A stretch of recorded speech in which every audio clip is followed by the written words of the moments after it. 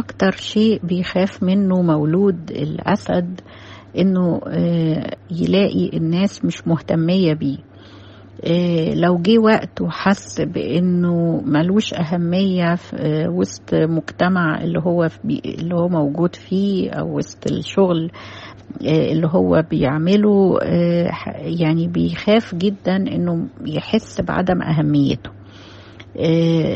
فلازم لما يدخل أي مكان يحاول إن هو يجذب ليه الاهتمام ويعرف يلفت ليه الأنظار.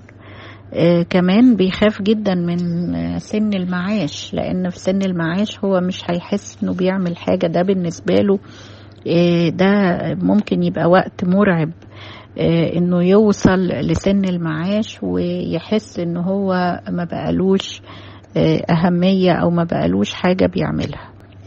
فالكابوس بالنسبة له إن الناس ما تهتمش بيه. طبعا معروف إنه الشمس هي الكوكب المسيطر على برج الأسد وبالتالي مولود الأسد عامل زي الشمس هي النجم يعني الشمس هي النجم اللي بتدور بحواليه كواكب والأسد زيها بالظبط زي الشمس يحب انجذاب الآخرين ليه ويحب اهتمامهم بيه ويحب إن الناس تدور في فلكه فهو عنده كمان بالفطرة كده روح قيادة.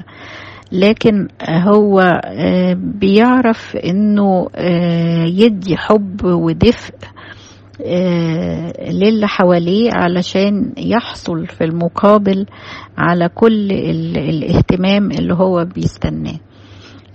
المهم إنه أكتر حاجة هو خايف منها وبيترعب منها إنه يجي وقت ويلاقي نفسه مفيش حد مهتم بيه أو يحس إن هو ملوش أي أهمية في المجتمع بتاعه.